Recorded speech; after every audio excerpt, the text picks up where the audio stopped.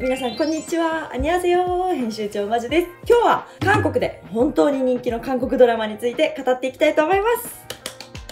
はい。12月もですね、いろんな新作ドラマがスタートしました。いろんな新作ドラマに加えて、やっぱり年末年始っていうことで、いろいろ見返したりとか、シーズン2に備えて予習したりとか、いろんな動きが見える12月でした。そんな中で、韓国のネットフリックスでは、一体どんなものが今流行っているのかっていうところをですね、調査し、毎月皆さんにお伝えしていくっていう定番のコーナーとなっております。今回もですね、ランキングトップ6をお届けしていこうかなと思っております。一体どんなドラマががランクインしているのか、前月と比較できることはあるのか、みたいなところも踏まえてですね、ご覧いただけると、より楽しんでいただけるかなと思いますので、ぜひ最後までご覧ください。そしてですね、ぜひ1位を予想しながら見ていただけたらなと思いますので、ぜひ楽しんでください。それでは早速、どうぞ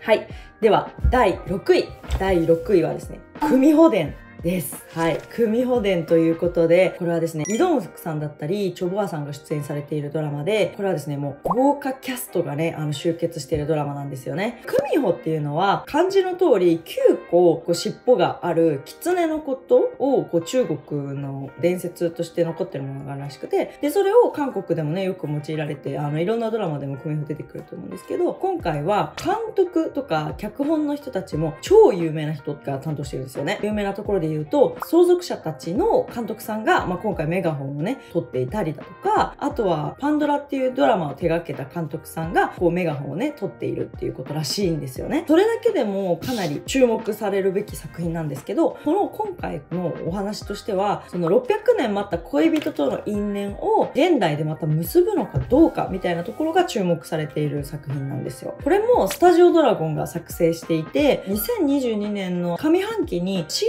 ズン2も韓国の方で放送されていて、なぜこのタイミングでこれが上がってきてるのかっていうのはちょっと、ちょっとね、謎が解けなかったんですけど、もしかしたらこれがね、新作として韓国では出てきたのかもしれないですよね。これは本当にね、美男美女が出るだけのすごい甘ったるいストーリーっていうわけではなくって、どっちかっていうとね、スリル満点のサスペンス系も同時に味わえるっていうのが、もうかなり特徴的なポイントかなと思います。なので、まあ上質なファンタジーみたいな形で楽しんでいただけると、まあ、より見やすいのかなと思うので、ぜひ参考にしてみてください。そして第5位。第5位は、脱出お一人島です。はい。これね、あドラマに入れるかちょっと迷ったんやけど、これは脱出お一人島っていうのは、韓国の恋愛バラエティショーです。ドラマじゃないんですけど、これシーズン2ということで、今めちゃくちゃ盛り上がってるんですよ。シーズン1でもすっごい盛り上がりを見せて、全世界的にこうヒットになった作品なんですけど、この2もね、すごいのよ。で、何がすごいかっていうと、独身の男女が無人島で共同生活を行いながら恋をしてカップルになるかどうかみたいな、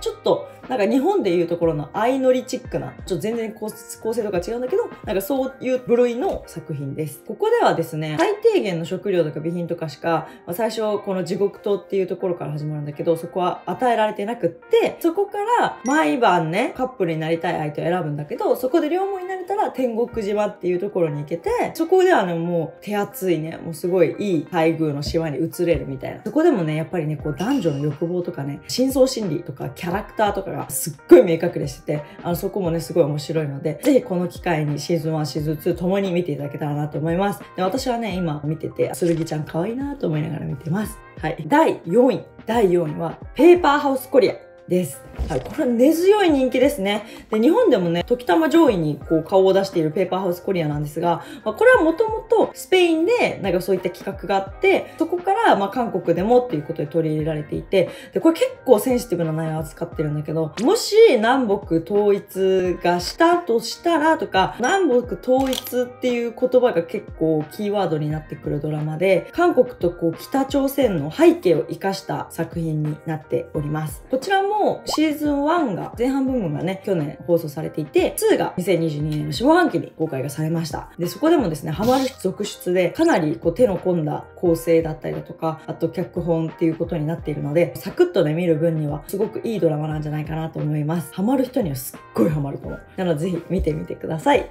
ということでですね、今回すごくね、早いんだけど、第3位、あと3位しかない。だと思います ?3 位まで。私はね、この3位をちょっと見た時に、こんな強いかって思ってしまったんで、これがネタバレになるかもしれないんですけど、ニュースマガジンはこちらからはい。では第3位。第3位は、冠婚です。はい。冠婚でございます。はい、これね、冠婚2が今、韓国でも日本でも放送がされております。冠婚っていうのは、こう、まだ見てない方のために簡単にお伝えすると、仮想大国っていう、本当にもう実在しない国で、水を操ったりとか、火を操ったりとか、風を操ったりとかするね、術師の皆さんがいらっしゃるんですよ。で、冠婚人って言って、魂をね、入れ替えれる術があるんですよね。冠婚っていうのがね。それで、野中がこう狂ってしまったりとか、荒れてしまった時に、世直しみたいな感じで、いろいろバトルしたりとか、どんどんラブストーリーになったりとかっていうところが、まあ、大筋ではあります。でもこれ、難しい。これシーズン2ね、私も見てるんですけど、え何がどうなって、これは誰？みたいな。この姿は、この子の魂なのかとか、この魂は誰みたいなのが、なんか結構あって、難しいです。理解するのが難しい。一個一個整理していかないと、こう、追いつかないっていうところは、なんか一個あるんですけど、それすらもですね、考察班っていうのがですね、やっぱり韓国ドラマにはいらっしゃいますので、考察班のね、考察見ながら楽しめるっていうのも、一つ楽しみ方かなと思っています。で、やっぱりね、本当にかっこいいのよ。ミニョンが。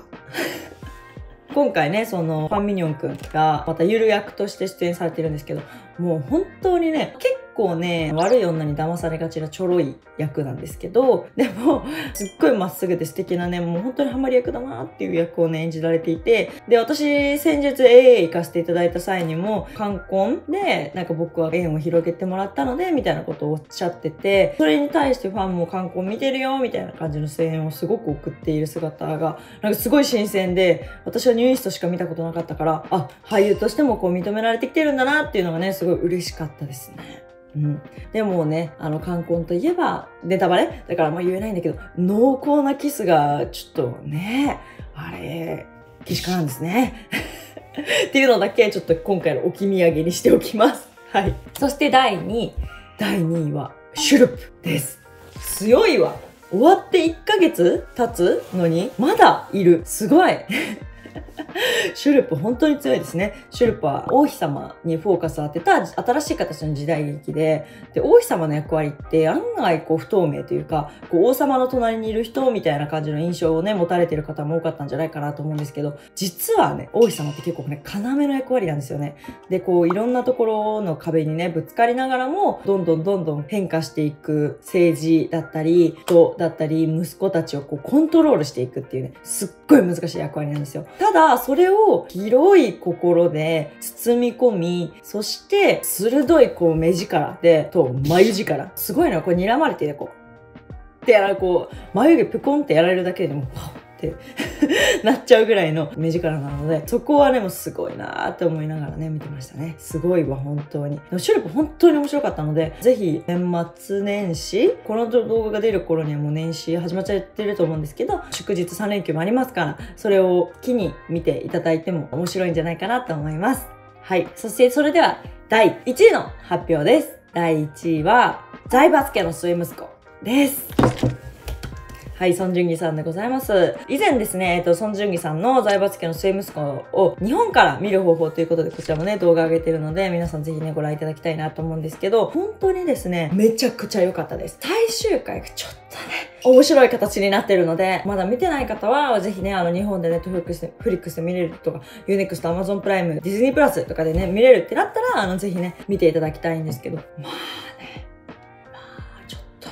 って感じでした。でも、ソン・ジュンギさんのね、まあ、熱愛が発覚したりとか、いろんなことを得て、なんかそう、総じてもいいドラマだったんじゃないかなとはね、思いますけどね。このドラマがですね、韓国でも非常に話題を呼んでいるっていうことはね、まだ11月の前半まではちょっと続くんじゃないかなっていうふうにね、私は予想しております。ソン・ジュンギさんの熱愛も発覚したんですけど、やっぱりカンドラファンからすると、イ・ジョンソクさんとあゆちゃんのこの熱愛発覚っていうのもね、捨てきれないですよね。とても素敵なカップルだなと思って、ちょっとね、私も応援していきたいと思います。ます。皆さんの感想をぜひコメント欄で聞かせてください。それでは本日もご視聴いただきましてありがとうございました。いかがでしたでしょうか ?1 位の予想ね、当たった方も多かったんじゃないかなと思います。ぜひですね、こちらの感想についてもコメント欄で教えてください。それではまた次の動画でお会いしましょう。インスタグラムと Twitter と TikTok もやっておりますので、ぜひフォローお願いします。それではまた次の動画でお会いしましょう。アンニョー